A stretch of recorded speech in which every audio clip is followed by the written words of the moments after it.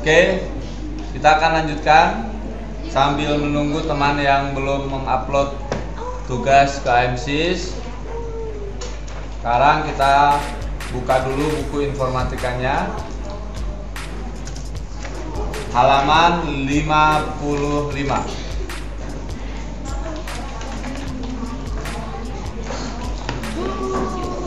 Kali ini kelas 6 belajar tentang aplikasi pengolah gambar.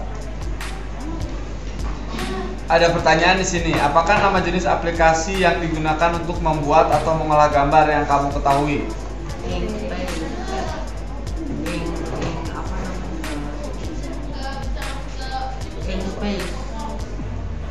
Oke, kembali lagi.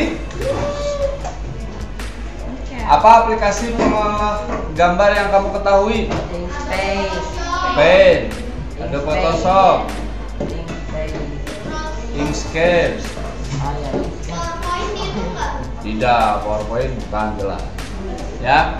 Nah, barusan yang kalian sebutkan adalah beberapa aplikasi pengolah gambar yang sudah kalian gunakan ya. Pengolah gambar atau grafis adalah perangkat lunak komputer yang digunakan untuk mengolah data grafis atau gambar. Misalnya untuk membuat poster, ilustrasi, undangan dan sebagainya.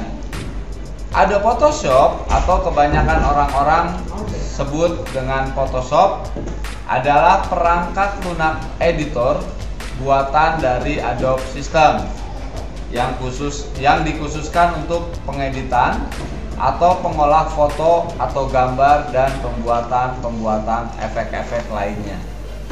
Mari kita belajar bersama-sama mengenal interface dari Adobe Photoshop.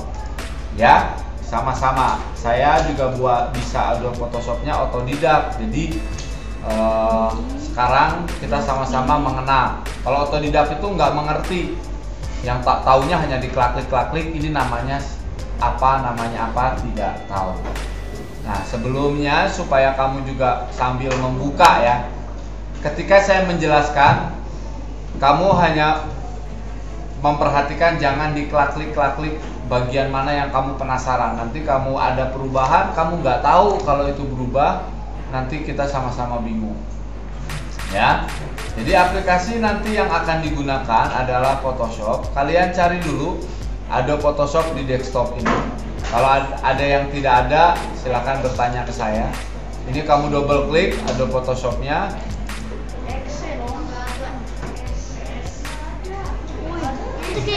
Video Nah, seperti ini. Nah, mari kita kenalan dulu dengan bagian-bagian atau nama-nama pada lembar kerja Photoshop. Tolong diperhatikan. Yang pertama, yang akan sering digunakan adalah pastinya toolbox. Alat ketika kita akan membuat gambar, membuat desain. Ini namanya toolbox, ya. Lalu yang kedua, menu bar. Menu bar itu ada di paling atas. File, edit, image. Ini ya, file, edit, image. Ini namanya menu bar. Jadi ketika saya klik menu apa, menu apa, jangan cari di bawah, jangan di kanan, di kiri, nggak akan ketemu. Adanya di atas. Lalu yang ini yang namanya tadi toolbar. Ya, toolbox, sorry.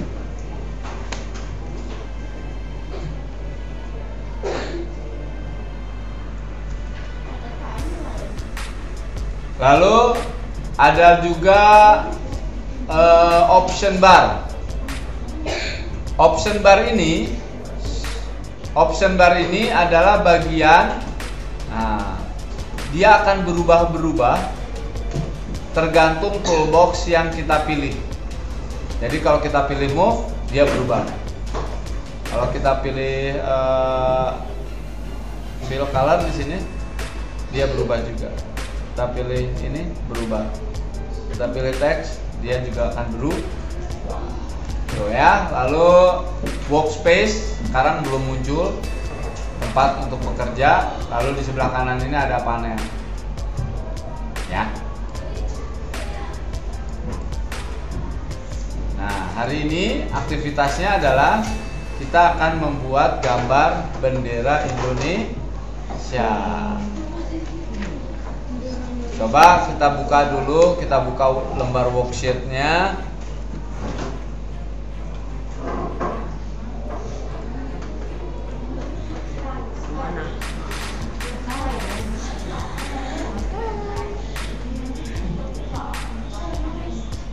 Kita coba, kita pilih file, lalu pilihnya new. Nah, name-nya kamu ganti jadi bendera RI spasi nama kamu spasi 6B spasi nomor absen.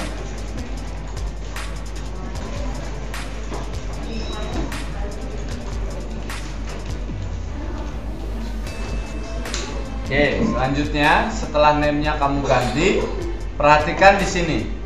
Width-nya satuan ukurnya kamu ganti dulu jadi pixel bagi yang belum. Height-nya juga pixel, lalu diganti ukurannya width 600, height 300.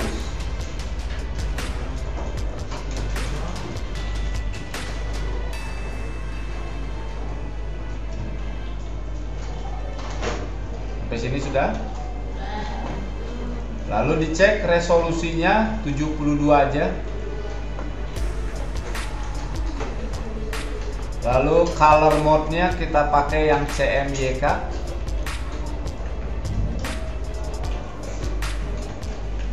Lalu belakangnya kita pilih yang 8 bit aja. Biar nggak terlalu besar nanti filenya. Background kontennya kita pilih yang transparan.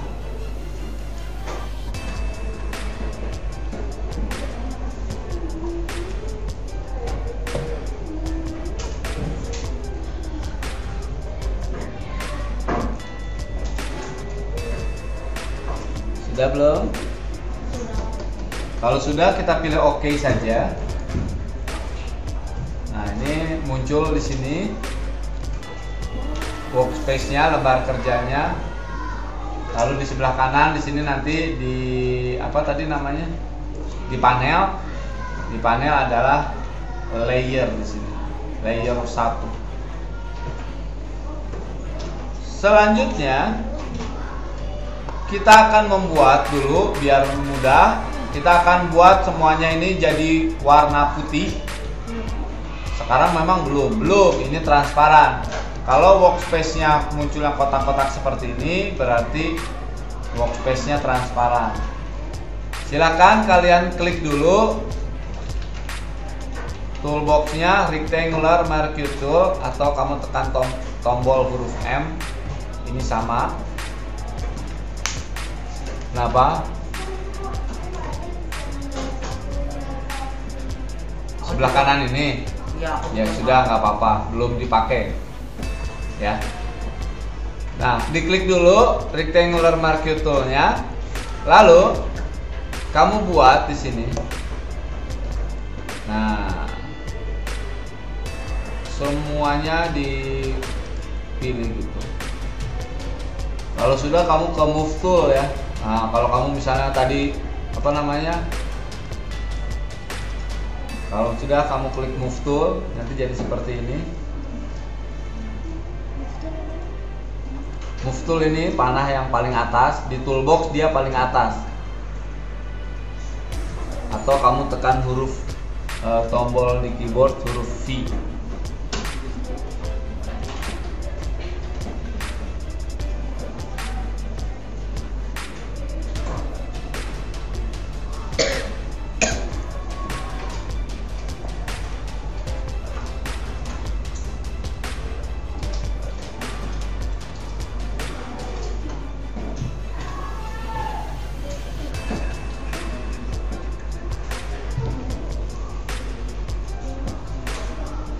Sudah sampai sini? Nah, kalau sudah, sekarang kita akan beri warna putih. Kita pilih menu edit.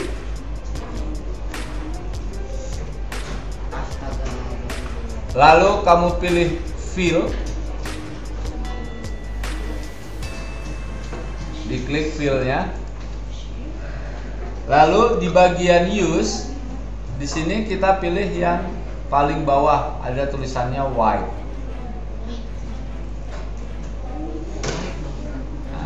Kamu boleh klik white-nya. Kalau sudah, yang lainnya jangan dirubah. Kamu pilih OK aja.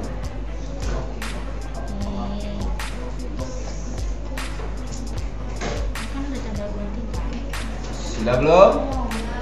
Oke. Selanjutnya kita klik lagi rectangular marquee tools-nya.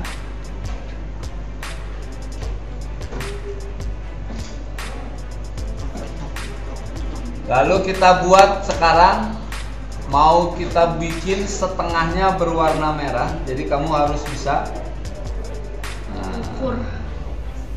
mengira-ngira dulu.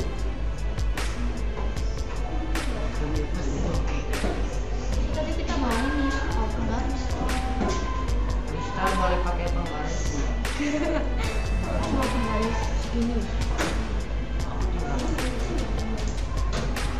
Yo, kamu kira-kira terlebih dahulu.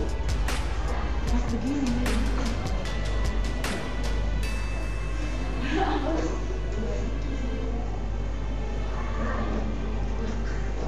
Sudah? Sudah.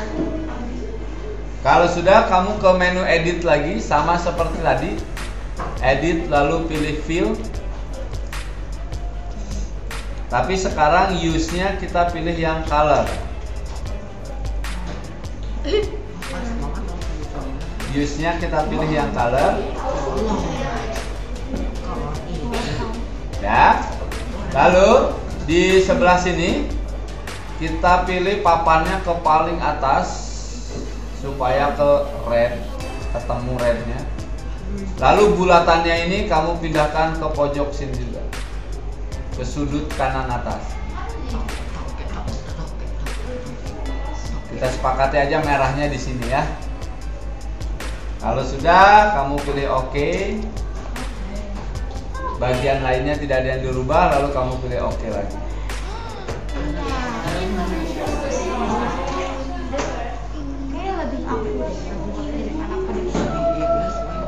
Sudah ya. Sekarang kita simpan dulu pekerjaannya.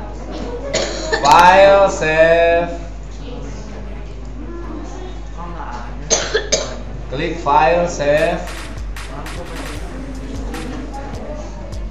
Lalu pilih libraries. Kalau nggak ada libraries berarti my document ya.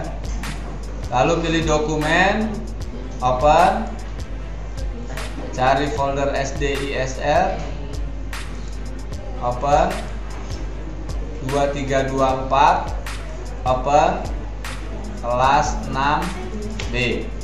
Diklik kelas 6B nya lalu kamu pilih open lagi. Simpan di semester 2. Open.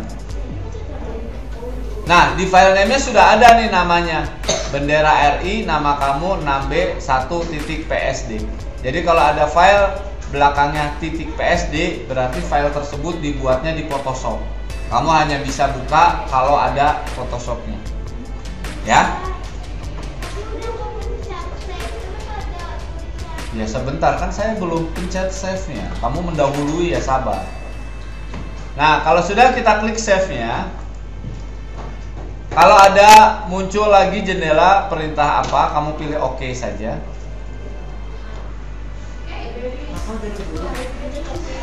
Oke. Nah, perhatikan karena nanti akan dikirimkan ke MSIS dan .psd itu tidak bisa dikirim takutnya tidak bisa dikirimkan ke MSIS. Kita akan save sekali lagi menjadi JPEG ya. Kenapa tidak PNG? Takutnya khawatirnya nanti putihnya jadi transparan. Ya, kita klik menu file, lalu kita pilih save as sekarang. Nah, bagian formatnya di bawah file name kamu rubah menjadi yang JPEG, JPG, JPG, JPG. yang ini ya.